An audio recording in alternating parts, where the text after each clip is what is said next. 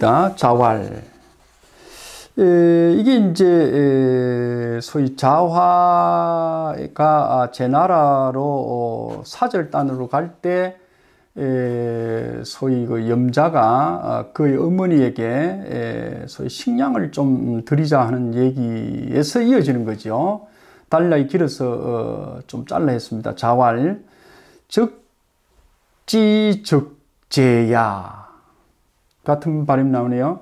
적지적 발음 같습니다. 적적입니다. 요거는 어, 공서적을 얘기하죠. 그죠? 공서적이 제 나라로 갈 때에 제 나라로 갈 때에 이, 이 말입니다. 제 나라로 갈 때에 승비마 살찐 말을 탔고 그 다음에 이 경구라 어, 경구라 뭐 경무에 대해서는 여러 어, 말이 있습니다. 이 경자가 가별 경자인데 이때는 우리가 가, 털이 박힌 속에 털이 박힌 옷을 얘기합니다. 이 겨울 파카 이렇게 생각하면 되겠습니다. 방한 파, 파카를 얘기합니다. 살찐 말을 타고 털옷 방한복을 갖추어서 갔다는데 이 말입니다. 어. 어, 오문지야 내가 듣기로는 이 내는 이제 자활 공자님이죠. 내가 듣기로는 군자가 군자가 급한 일을 당하면 주 주는 요때는 구제한다 구제 예, 도와준다, 구제한다 이 말이에요. 두루두루 구제해준다. 급한 상황을 당하면 군자는 누구든지 두루두루 구제해줘야 되지만 불개불라 어. 부자를 계속해서 도와줄 필요는 없다. 어. 이런 얘기입니다. 음. 그러니까 에, 부를 이어가면 안 된다. 이런 부를 이어줘서는 안 돼. 더 부자 되도록 해주면 안 돼. 왜? 지금 그 공서적은 에, 자화라는 공서적은 한번 누구 봐라. 갈 때 내한테 보고가 들어왔는데 어? 승 승비마다 응? 살찐 말을 타고 갔고 어. 그 다음에 봐라 이 경구다 응? 어, 범털이 있든 곰털이든 털옷이 바뀐 어? 털이 바뀐 소위 방한 파, 파카를 입고 갔는데 이 친구 가난했겠느냐? 내가 그래서 어? 어, 저거 엄마한테 살을 한 여섯 말만 주라 했는기다. 계속 어, 부를 이렇게 에, 일구도록 해줘서는 안 된다. 그래서 내가 아, 그 듣기에 선생이 좀 쫀쫀하고 좀 뭐 인색해 보이는 것지만은 어, 공서적은 어, 사절로 갈 때 좀 화려한 어? 어, 짐을 꾸려서 어, 갔다는 소문이 들리길래 내가 그렇게 했노라 하는 얘기죠. 음, 한번 읽고 더 마치겠습니다. 자왈 에, 적지적제야라 공서적이 갔다 갈적자죠. 제 나라 사절로 갔다. 여기서 이제 갈 때에 승 탔다 비마 에, 살찐 말을 타고 갔고 그 다음 뭡니까 털옷을 경구가 털옷입니다. 털옷을 소위 챙겨서 입고 갔다고 한다. 그래서 내가 내가 이런저런 소리를 듣기로 군자는 여러 상황이 어렵고 급한 입장에 놓인 사람은 구제해 줘야 되지만은 부자는 계속 이어서 부를 어, 사가도록 해줘서는 안 된다는 소리를 들었기 때문에 에, 공서적은 살림이 좀 넉넉한가 싶어서 내가 그랬다. 이런 얘기가 아, 되겠습니다.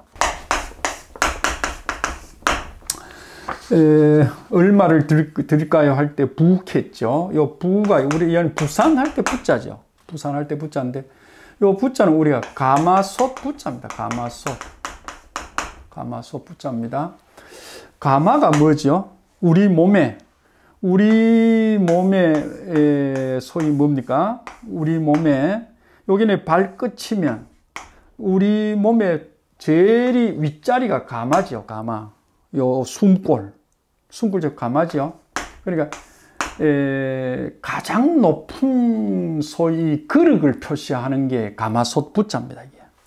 예, 가마솥 부자인데 어, 요 글자가 아, 상당히 의미 있는 글자입니다. 여러분 그 임금을 임금을 표시하는 우리 조상을 표시하는 신주 단지가 보통 있죠.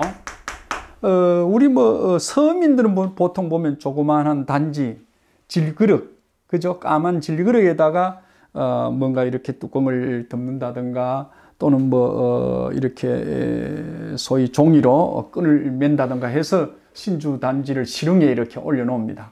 그런데 에, 왕족들 또 임금을 표시하는 자리에는 뭡니까? 봉황을 만다든가 청룡을 만다든가 이런 걸 만들죠. 그 다음에 이제 솥을 만듭니다. 가마솥을 만들고 이럽니다. 그 이제 임금을 상징한다는 거죠. 신주 단지를 표시하는 겁니다. 예. 어, 우리 몸에 정수에 있는 가마도 가마지만은 우리 그저 어, 도자기 꼽는 음, 요도 가마라고 그러죠. 일본에서는 어, 그대로 우리말 따가서 가마라고 그럽니다. 그 가마가 왜 소중하냐고 그러면 여기에서 모든 기물이 나와야 돼. 기물. 기물이 나와야 우리가 뭡니까? 기, 기물이 나와야 우리가 어, 소위 에, 일상생활에 쓸 수 있잖아. 다시 생산 공장이잖아. 이 가마가. 그죠? 그래서 가마에서 모든 것이 나와야 되기 때문에 가마를 어, 소중히 쳤다. 이제 이런 얘기가 되겠습니다. 음. 어, 우리가 그 파부 침중 하는 말이죠. 파부 침중. 어, 파부.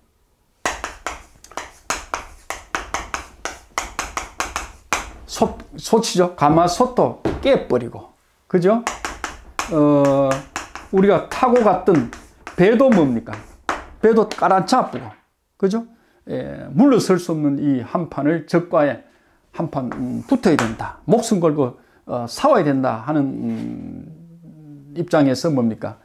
어, 우리 아군들을 격려하기 위해서 장군이 예, 소위 타고 왔던 배도 우리 군졸들이 전부 먹어야 되는 음, 밥을 짓는 솥도 전부 어, 깨버리고 또 배도 뭡니까? 깔아앉혀 버리고 하는 뜻의 이 파부 침죽하는 단어가 예, 요 부자에서 오지. 성낼 노자죠. 요게 예, 노비, 노예라는 뜻이죠. 어, 그러니까 어, 뭐 우리가 인격이 갖추어져 있지 않으면 성질을 잘 낸다 이렇게 이제 봐서 어, 노비 노자가 노비 노자 밑에 맘심자를 붙여서 성낼 노자가 됐네요. 음. 어, 우리 아까 조금 전에 역, 에, 역자는 에, 다시 말하면 어, 노자는 노자는 역덕이라 덕을 역하는 사람이다. 예. 덕을 치는 사람이다. 이제 이렇게 하면 일로 일 일로 그죠? 일로 어, 일로라. 성질 한 번 내면 뭡니까? 한 번 더 늘른다. 성질 내지 마라 할 때 쓰죠. 음. 또 흔히 하는 소리가 에, 노실 집안에서 성낸 사람이 그죠? 에, 소위 뭡니까? 색시라, 색시라. 시장에 나와가지고 뭡니까? 응? 성질 부린다. 얼굴을 붉힌다. 노하기는 집안에서 노하고, 얼굴 붉히기는 뭡니까? 시장 바닥이나 동네 나와가지고 막 성질 부리댕긴다. 이제 이런 얘기입니다. 그게 노실색시라 하는 말을 씁니다. 이, 이 노자가 어쨌든 성질을 많이 내면 첫째 가히 나빠진다 하죠. 가히 나빠지면 피부가 나빠지죠. 그죠?